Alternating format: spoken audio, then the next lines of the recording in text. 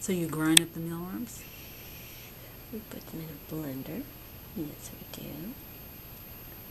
Come on. You find? There we go.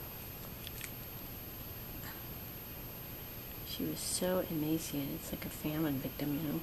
She just goes making up for lost time. hmm Okay, come on, honey. See here. There's a good girl. She doesn't eat them whole.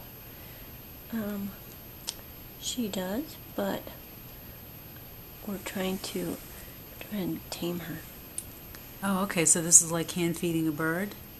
So I'm hand feeding her three times a day to try and get her to calm down. If she can't calm down and get used to being handled and not bite every person who tries to pick her up, I can't keep her. So cool. So I've never had a bat that didn't calm down quickly. That, you know, didn't have like rabies or something, but for her to have been in care this long and, and still be so timid and fearful of bite handlers Mhm. is very unusual. We go through a lot of Q-tips.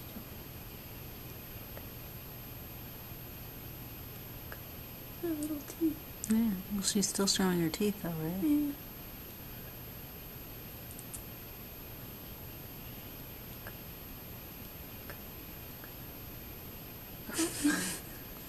that can't taste too good.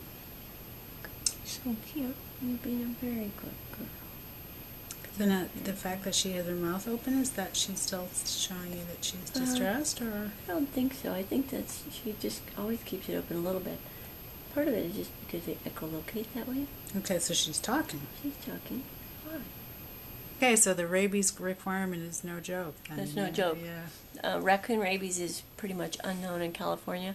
Skunk rabies is more of a problem in Northern California. That leaves bats as the number one vector in Southern California. Okay. So Automatic. right. Well, and in a normal, you know, bat community, it's it's very rare. Statistically speaking, you know, raccoons are more likely to be rabid, but that's on a national basis. Okay. um, down here, It really is. if you're doing bat rescue, they say that uh, one in ten bats found on the ground will have rabies. But that's not the population at large. That's not the population at large, but if you're doing bat rescue, Yeah, you're yeah, going to yeah, get grounded bats. Okay, I get it. So, close up here. what not to love? Look at him.